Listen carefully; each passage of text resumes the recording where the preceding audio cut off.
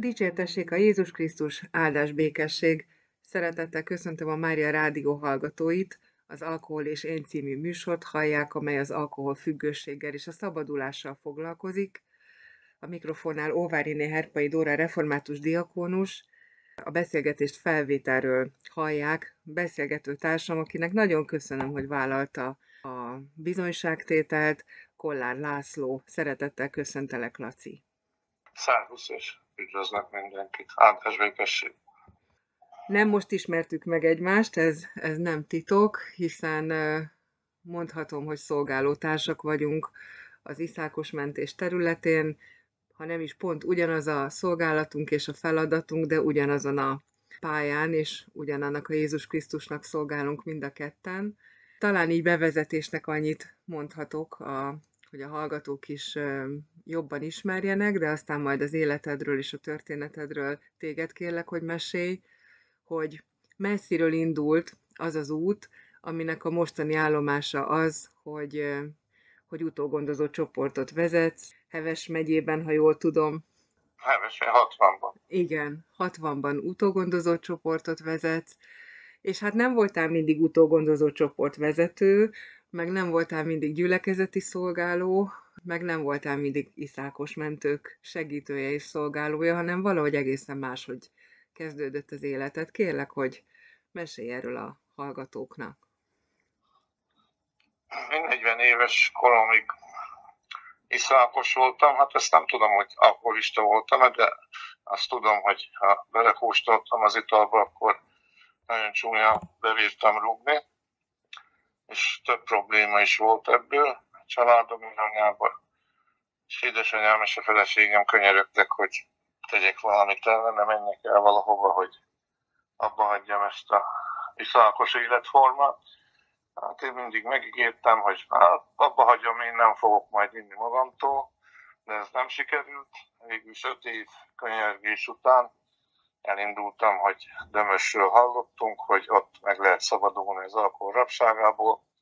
Elmegyek Dömösre megpróbálom én is, hogy hát ha sikerül. Hát én belülről úgy gondoltam, hogy nem fog sikerülni, majd kijövök, aztán megünneplem valamelyik kocsmába, hogy megyek hazafele. De hál' Istennek valahogy megfogott az ige. Uh-huh. És Zoli bácsi idejében még ahogy hallgattam, hallgattam, és úgy sikerült hazamennem, hogy éreztem, hogy változás történt az életemben.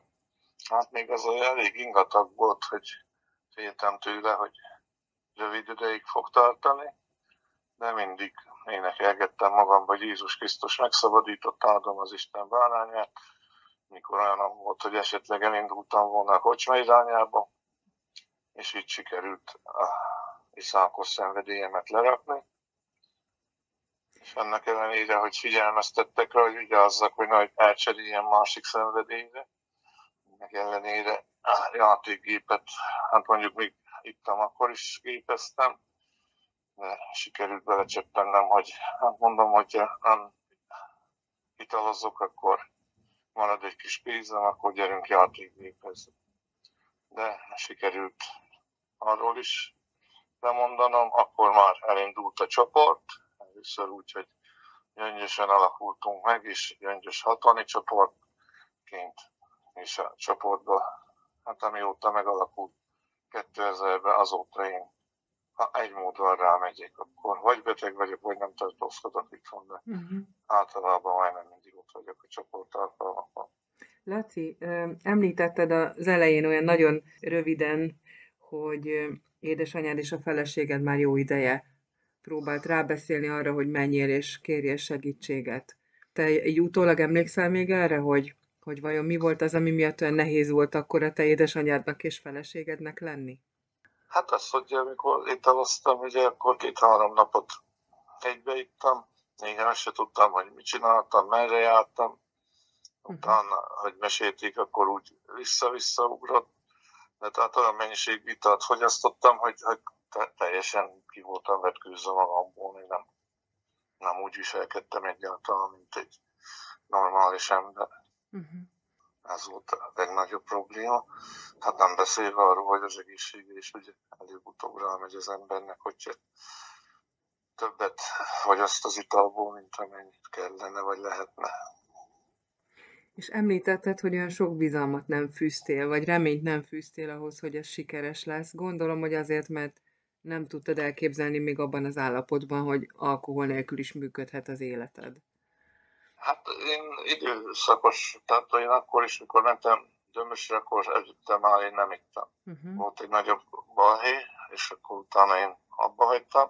Csak mindig az volt, volt mindig ilyen időszak, hogy abba hagytam, abba hagytam, és akkor utána valahogy mindig visszacsöppentem bele, hogy megint, ha belekóstoltam, akkor utána megint nem tudtam, hogy mennyi az elég. De azt nem tudtam elképzelni, hogy én majd most már jövőre lesz, hogy 25 évet, hogy nem fogok. Hm. Az semmiféleképp. Azt meg, hogy gyülekezetbe fogok járni, meg segítő leszek, azt meg végképp nem tudtam hm. elképzelni. Tehát az életednek nem volt része a hitélet? Hát úgy érintőleg, de nem, nem gyakoroltam hitelemet. És akkor, ha jól tudom, az a, akkor az a terápiás program, amiben te bekapcsolódtál lassan 25 évvel ezelőtt, az 10 napig tartott, ugye? Nekem nem volt még annyi sem, mert hát egy bő hetet voltam ott végül is, eltöltöttem, és utána hazajöttem, és nem is kívántam az italt, az volt a legfurcsább. Furcsa is volt, meg csodálatos is, hogy nem kívánt az ember, de a szokás az meg csak benne volt. Sokan olyan nehezen tudják elképzelni azt, hogy mi történhet egy hét alatt, mit hall az ember, mi történik, ami elveszi azt a sóvárgást, amitől előtte éveken, évtizedeken át nem tudott szabadulni. Te hogyan, hogyan emlékszel vissza arra a hétre? Volt-e olyasmi, ami úgy ami úgy nagyon, nagyon megtalált téged, és még ma is emlékszel rá? Olyan üzenet, vagy olyan mondat, vagy olyan hatás? Hát ez az ige szakasz, hogy amilyen a fa, hogy olyan lesz a gyümölcse. Uh-huh. Azon gondolkoztam el nagyon, hogy akkor majd gyermekeim, unokáim is olyanok lesznek, mint én, ezt meg végképp nem szerettem volna. Uh-huh. Mondjuk visszaugorhatok egész kicsi koromra most egy pillanatra, ha szabad. Hogyne. Az édesapám is néha elment italozni. Aztán van egy olyan emlékem, hogy hát éppen, hogy még a térdig értem fel, azt átkaroltam a térdét neki, hogy ne menjen el, de hát húzott magával annyira vonzott az ital, hogy hát küszöbnél bírtam lecsatlakozni róla, és akkor is úgy gondoltam, hogy hát én biztos nem fogok ilyen életet élni. Ehhez képest addig kóstolgatta az ember az italt, hogy még rosszabb lettem, mint ő volt. És ez megfogott, hogy szíven ütött ez az ige, hogy te nem, nem ezt szeretnéd továbbadni a családban. Igen, úgy, hát meg is fogott, meg úgy érzem, hogy akkor volt olyan, olyan fordulópont. Zoli bácsi mindig mondta, hogy figyeljünk oda, hogy valami jelet kapunk, de úgy nekem nem volt úgy olyan külön hatalmas nagy élménybe, de úgy, akkor úgy éreztem, hogy mikor aznap előzigéről volt szó, hogy, hogy, hogy mint a változott volna valami. Uh-huh. És az volt az érdekes, mikor megérkeztem Dömösre, a kapu előtt olyan nyugalom szállt meg, hogy kívül tudtam a kapun kívül hagyni a világ gondját, baját. Ugye mindig vannak gondjai az embernek, van, amit saját magának csinál, van, amit mások csinálnak, de abszolút nyugodtan tudtam bemenni, hogy annyira éreztem, hogy jó helyen vagyok, pedig otthonról még úgy indultam, hogy, de, hogy ebből nem valószínű, hogy lesz valami. Uh-huh. És amikor innen hazamentél egy hét után, akkor téged család várt otthon, ugye? Igen, igen. Milyen volt akkor a családod? Mekkorák voltak a gyerekek? Hát akkor már kamaszodtak.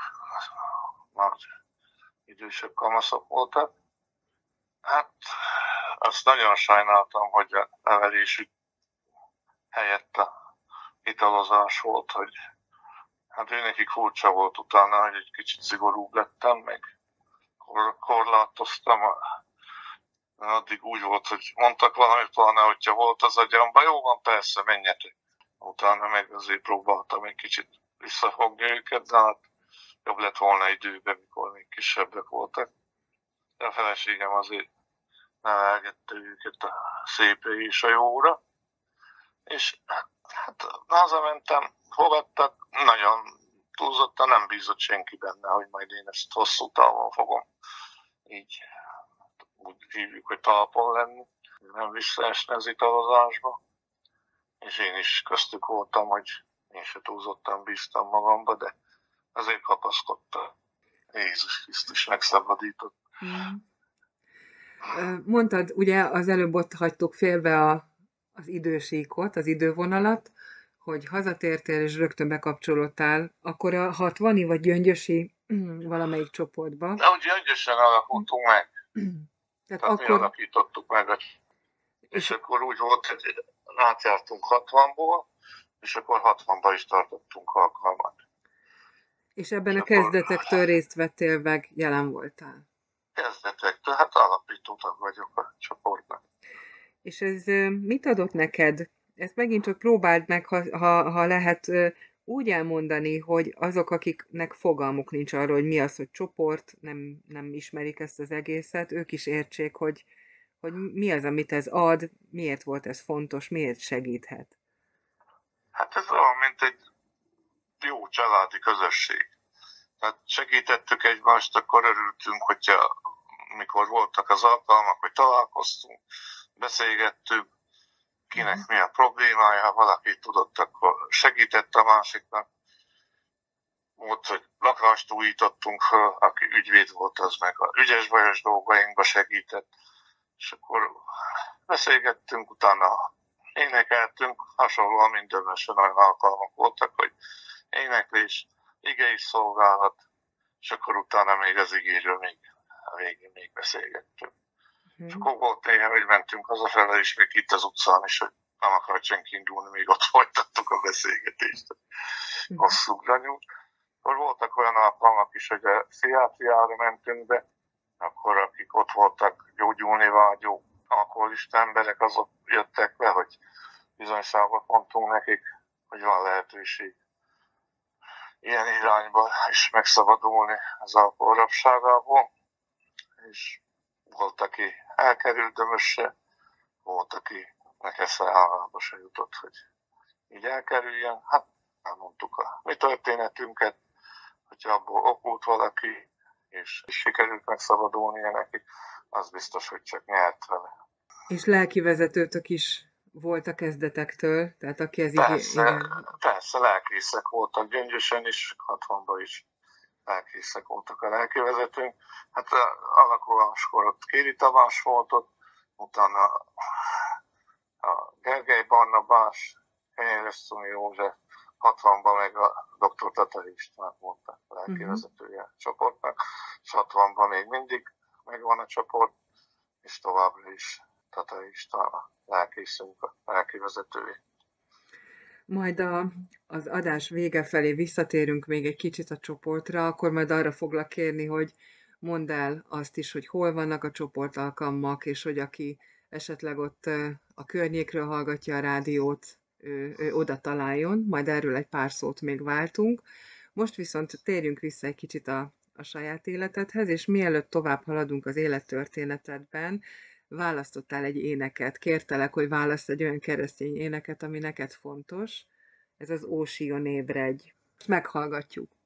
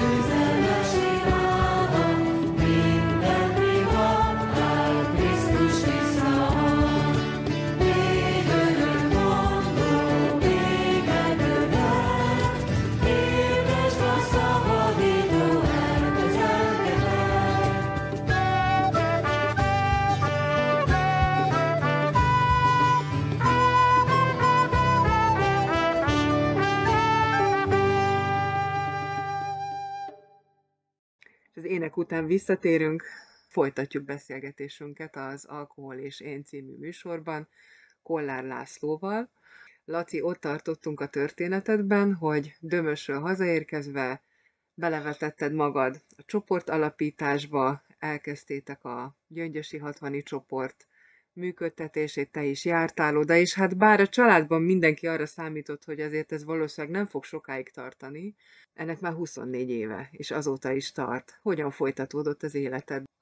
Hát gyülekezetbe is elkezdtem járni, hogy indult konfirmandós képzés, konfirmáltam, akkor gyülekezeti tag lettem, rá egy pár évre felkértek, hogy presbiteri választás lesz, hogy meg hogy jelölnek presbiternek, és meg is választottak, azóta is presbitere vagyok a gyülekezetnek, és akkor így a kettő együtt a keresztcsoportvezetés, meg a presbitérium, hogy jó is, hogy így van, mert ugye ha valami van a csoporttal, akkor a presbitérium tud segíteni, hát ha a presbitériumnak kell segíteni, akkor meg a csoport tud segíteni. Mm. Általában ezek a kékkeresztes csoportok, sok lelkész fél a kékkeresztes csoportoktól, hogy fú, alkoholisták, de hát ugye már szabadult alkoholisták, nem alkoholisták, hogy nagyon nagy segítségre ére vannak a gyülekezeteknek.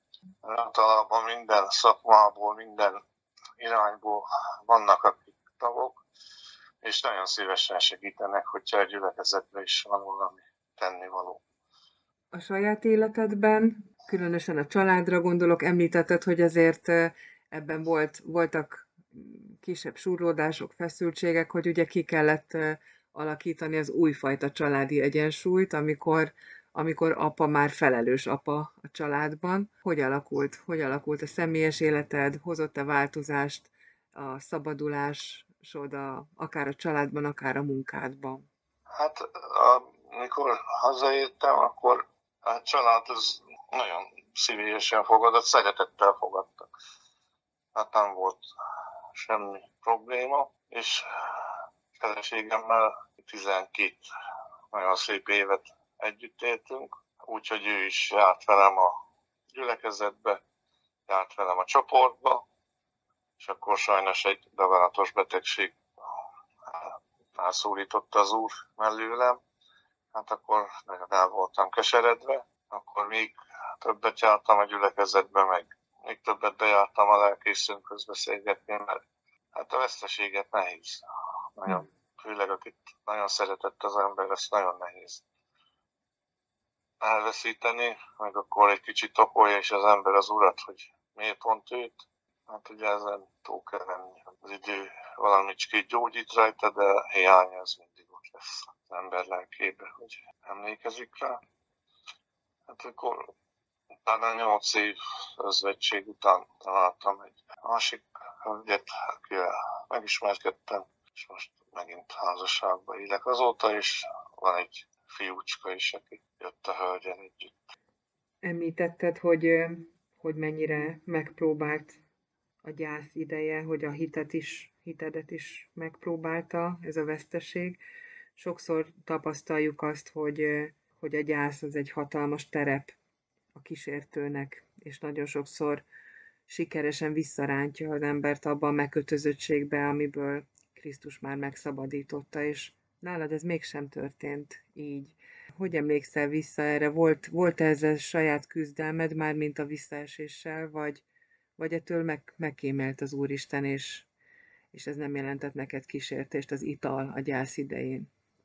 Gondoltam rá, hogy vissza fogok esni, hogy ezt nem lehet józanul kibírni, de ugyanakkor arra is gondoltam, hogy eddig ma sikerült talpon maradni, még akkor már csoportvezető voltam, meg presbiter voltam, meg a gyülekezet, hogy, hogy annyira mellettem át mindenki, hogy hogy ők szerintem nagyon nagyon segítettek, hogy, hogy mellettem voltak. Nem hagytak magamra, mert ha magam lettem volna, akkor valószínű, hogy nem is hagytak magamra, meg én is kerestem, hogy mentem utána, hogy ott legyek mindig. Nem zárkóztál be? Igen, nem zárkóztam be. Most a szavaidon keresztül annyira húsba vágó valóságá válik az, amiről olyan sokat szoktunk beszélni, hogy micsoda támasztó ereje van a közösségnek, különösen a keresztény közösségnek.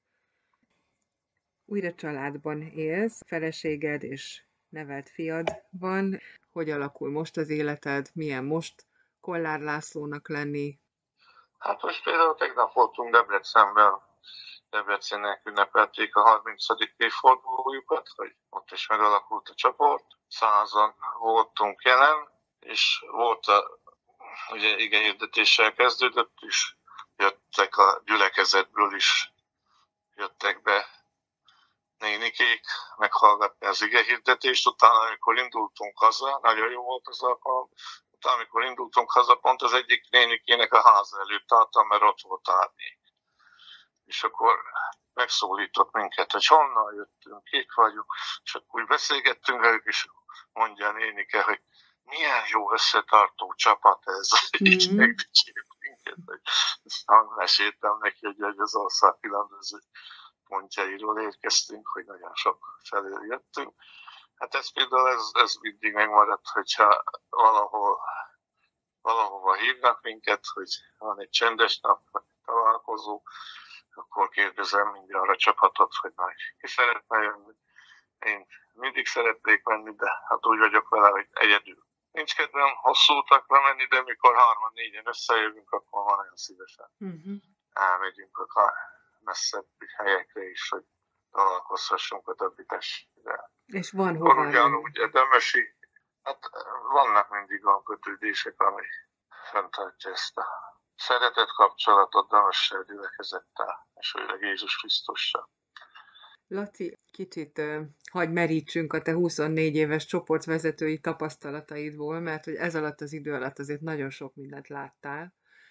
Emlékszel-e most olyan történetre, nyilván név nélkül, ami, ami számodra is ilyen igazán megrendítő csoda volt, mert akár te, akár a csoport úgy láttátok, hogy hát itt azért már biztos nincs remény, és mégis, mégis a szemetek előtt történt a csoda. Hát volt ilyen és olyan is.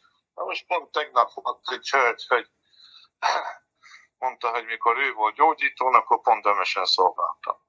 Hmm. És hogy ő emlékszik rá. És az olyan nagy öröm, mikor valaki látszik, hogy, hogy tényleg szabadult, hogy tiszta. És ott van a találkozón, és már több éve meg tudott szabadulni az alkoholtól.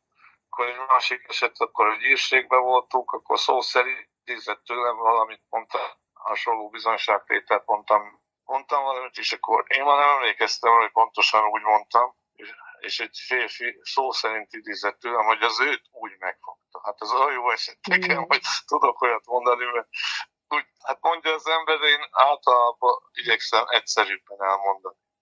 Ez most egy nagyon hosszú riport lesz, amit most készítünk, mert én 10 perc alatt el szoktam mondani, hogy mi történt velem. Voltak, akik elindultak, voltak, akik elindultak, visszaestek, nem sikerült, uh-huh. de akkor is legalább tudtak, hogy hol van az a hely, ahol megszabadulhatnának, de erősebb volt sajnos nekik a kötődés az alkoholhoz, mint hogy váltsanak és egy új életet kezdjenek. Te hogy látod, hogy mi ebben az ember része? Mert azért mi azt nagyon komolyan hisszük, hogy nem az ember szabadítja meg önmagát, hanem Jézus Krisztus szabadít meg, ahogyan ezt te is többször elmondtad, hogy magadban is mondogattad, hogy Jézus Krisztus megszabadított. Tehát, hogy ez a szabadulás a megkötözöttségből, ez tőle van. Ez az ő szabadításait, ő a cselekvő, de ugyanakkor van ebben valami hatalmas nagy titok. Mi lehet ebben az ember része? Mi lehet az, ami, ami az emberen múlik? Mit gondolsz Hát el? amit az Úr az emberre bíz, azt tegye meg, és a másik, amikor meg, hogyha ilyen helyzetbe kerül, hogy van rá lehetőség, akkor fogadja el a kegyelmet, és éljen is, és vegye komolyan. Tehát elfogadni, amit az Isten ad, és megtenni, amit vár. Ezt Igen. Lassan a vége felé jár a beszélgetésünk, de még nem a legvégén járunk, hiszen beszéltük is, hogy a csoportról azért kérlek, hogy mondjál néhány szót, a 60 környékiek, akik arra felé laknak, mikor, hova mehetnek, a helyszínt is, az időpontot is oszd meg, légy szíves a hallgatókkal. Ez 60-ban a református templom udvarára kell bejönni, Dózsa tér 9 szám alatt van, és ott be kell csöngetni, és a könyvtárba szoktunk összejönni. Minden pénteken 18 órakor kezdünk, és akkor hát általában egy óra hossza, de van, hogy tovább is beszélgetünk, de az igei rész meg a felolvasások az egy óra hossza uh-huh. időtartam, utána még ott maradunk, hogyha gondoljuk, és akkor beszélgethetünk. Ez pénteken ez 6 órakor. Minden pénteken 6 órakor. Reformátusnak kell ahhoz lenni, hogy valaki oda menjen? Bárki jöhet. Most is van olyan testvérünk, aki görög katolikus, katolikus, aki egész messziről a rabasárul, hát aki akar, az el tud jönni.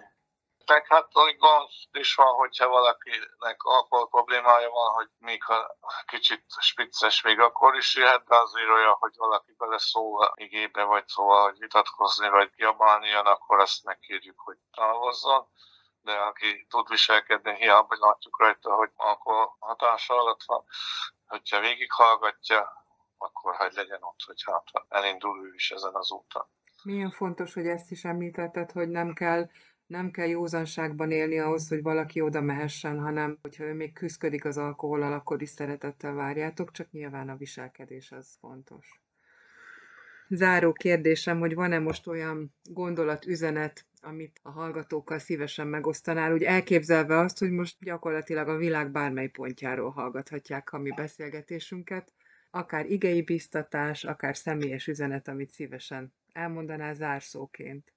Hát nemrég láttam a Sziget című filmet, és abban az atyához, mikor ment az egyik hölgy, és hát mégis mit tegyünk, hogy üdvözöljük, akkor az atya mondta nekik, hogy minél kevesebbet védkezzetek, és próbáljatok minél szebben élni. Végéhez érünk a mai adásunknak. Köszönöm szépen beszélgető társamnak, Kollár Lászlónak, hogy velünk tartott. Laci, Isten áldása legyen életedben és szolgálataidon. Nagyon szépen köszönöm, és azt is, hogy gondoltatok rám egy ilyen riportra. Hm. Áldás békesség. Áldás békesség és dicsértessék a Jézus Krisztus. Kedves hallgatóinkkal pedig négy hét múlva találkozunk itt, a Mária Rádió az Alkohol és Én című műsorában, és ha valakinek kérdése van, amit szeretne megosztani, vagy szeretne rá választ találni, akkor írjanak nekünk bátran az iszákos mentő kukac máriarádió.hu e-mail címre. És ne felejtjük János evangéliumának örömhírét, ha tehát a fiú megszabadít titeket, valóban szabadok lesztek. Ámen.